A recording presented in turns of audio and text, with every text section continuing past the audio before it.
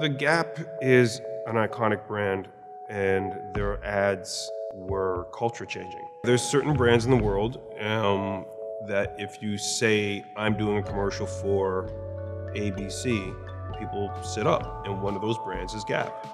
You know, little humble brag. I gotta do a Gap commercial Monday. Yeah, you heard me right. I said Gap.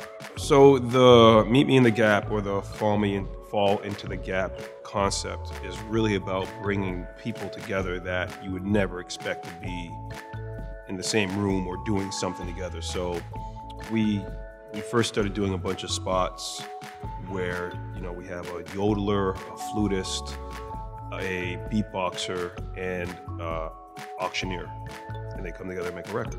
Interesting set of people. So we wanted on uh, for this spot, it was about doing something with celebrities who you would never expect to come together and do something together.